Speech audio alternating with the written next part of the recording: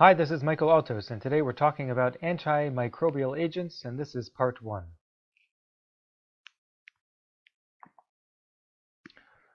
First, an overview of the principles of antibiotic therapy. The reason we give antibiotics in the operating room is usually to prevent surgical site infection or to treat an already known or suspected infection. We need to be aware of the potential toxic and allergic reactions that can occur when we administer antibiotics. There are two general types of antibiotics, bacteriostatic and bactericidal. bacteriostatic antibiotics stop bacteria from growing and reproducing. This is usually done by disrupting protein formation or DNA synthesis to prevent reproduction. Bactericidal antibiotics actually kill the bacteria.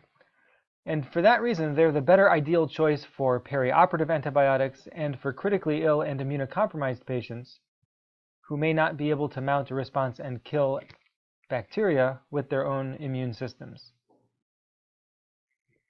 Most bactericidal antibiotics work by disrupting the cell wall or the cell membrane of the bacterial cells.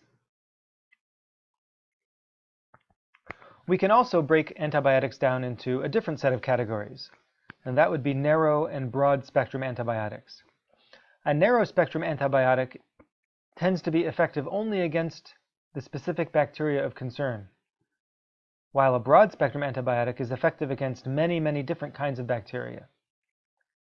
The disadvantage of broad spectrum antibiotics is that there's an increased, of, increased risk of effects on other normal bacterial flora and this disrupts the balance of bacteria that exist in health in the patient's body.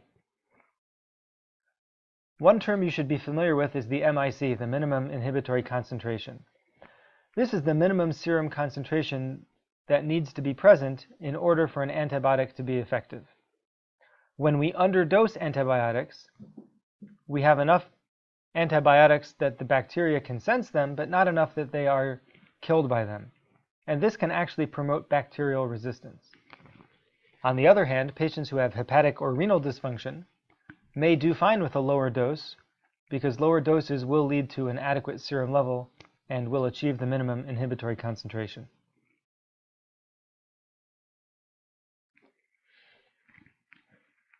One piece of microbiology you need to be aware of is the Gram stain. Gram's stain is a violet dye that when applied to bacterial cells identifies properties of the cell wall. Gram-positive bacteria have cell walls, and they include Bacillus and Clostridium, Enterococcus, Staphylococcus, and Streptococcus bacteria. They have a thick peptidoglycan layer but no outer membrane. They're more susceptible to antibiotics and antibodies, and often these bacteria are non-pathogenic. The gram-negative bacteria include Campylobacter, Chlamydia, Enterobacter, E. coli, Klebsiella, Neisseria, Pseudomonas, and Salmonella. These bacteria have an impermeable cell wall due to the outer membrane, and they tend to be more resistant to antibiotics and antibodies and are often more pathogenic. Here's a diagram that demonstrates the difference between gram-positive and gram-negative cell walls. Gram-positive bacteria have a single phospholipid membrane, this is the cytoplasmic membrane, and a very thick peptidoglycan layer that forms the gram-positive cell wall. Whereas gram-negative bacteria have the phospholipid bilayer forming an inner membrane, another phospholipid membrane forming the outer membrane, and a very thin cell wall made of peptidoglycan, in this periplasmic space.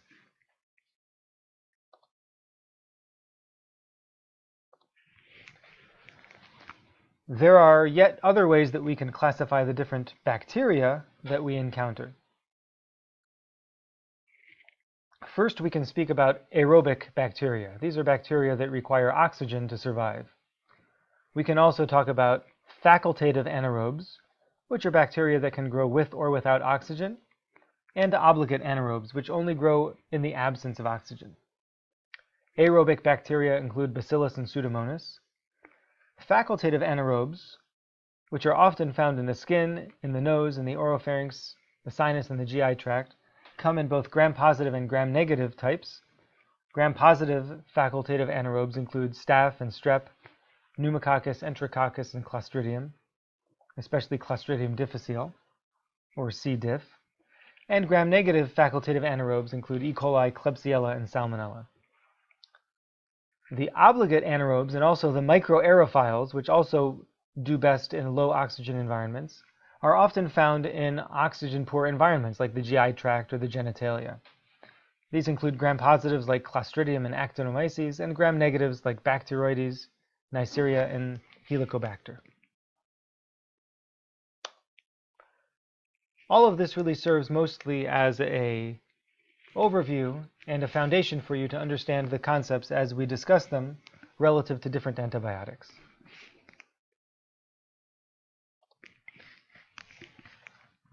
The next thing we should discuss before we get into specific drugs is the concept of adverse reactions. Commonly, we talk about allergy as, a, as an adverse reaction to antibiotics. We should be clear that an allergy can occur to any drug. And within antibiotics, beta-lactams and its derivatives are especially known for causing allergies. An allergy is really an immune-mediated reaction and the effects can be as simple as a rash or pruritus, which is itching, to bronchospasm or even anaphylaxis.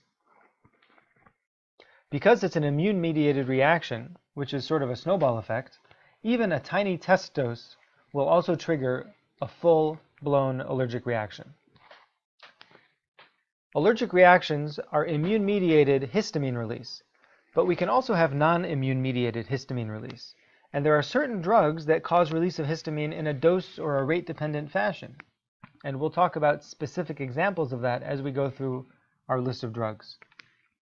We can still see rash, pruritus, bronchospasm, and flushing just as severe as immune-mediated anaphylaxis.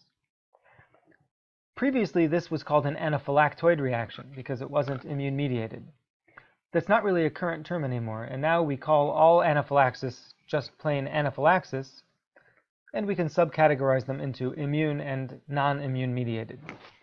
The classic example of an anaphylactoid reaction, or what we would now call a non-immune mediated anaphylaxis, could be vancomycin, causing red man syndrome.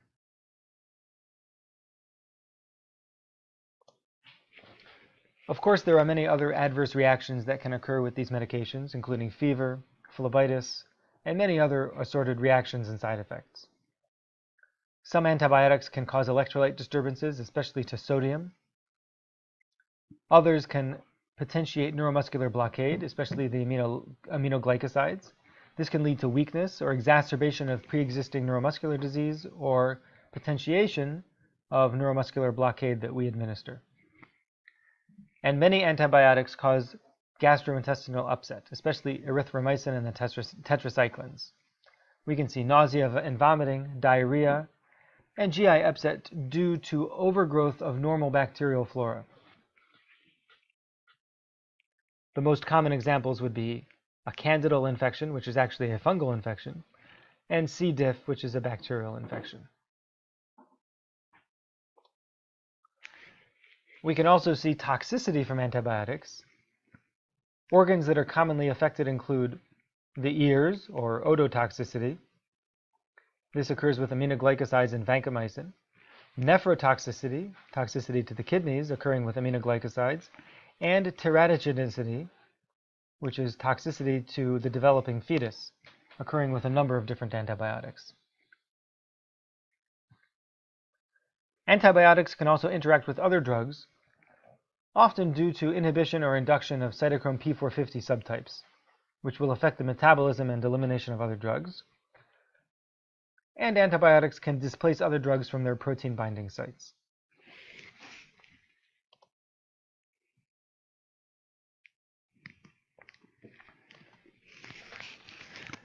The last general topic I want to discuss is the concept of surgical antimicrobial prophylaxis. Why is it that we give antibiotics before almost every surgery? We can look to an initiative called the Surgical Care Improvement Project, or SCIP, which defines this initiative in detail. The concept is that delivery of an antibiotic just before incision results in the lowest rate of surgical site infection. And we find that infection rates increase when antibiotics are given too early or if they are given after incision. We want to pick the narrowest spectrum antibiotic that is appropriate for the organisms likely to be encountered during that operation. And we want to maintain adequate antibiotic levels in the tissue the entire time the wound is open in the operating room. For most operations, the standard of care is to give an, an IV antibiotic shortly prior to incision. The official SCIP guidelines say that the correct antibiotic should be administered within one hour prior to surgical incision. That's the guideline, although truthfully, it would be best if they were given within 30 minutes. And if they're given immediately before incision, that may actually be not enough time to establish adequate tissue levels of antibiotic. Nevertheless, the guideline says to give it within the hour before surgical incision. SCIP guidelines also recommend appropriate redosing based on the half-life of the antibiotic, and redosing may need to occur more frequently if there's major blood loss and subsequent loss of antibiotic from the serum. Certain procedures which are clean may not require antibiotics. And just remember, the reason we're giving antibiotics is to prevent infection from normal flora of skin and the GI or the GU tract. Here's an example of SCIP guidelines. These may not be current or what your institution is using, but it gives an idea of what a SCIP guideline table may look like, showing different types of surgery, the preferred antibiotic, the alternative if the patient has an allergy to beta-lactams, or if they have a known history of methicillin-resistant Staph aureus.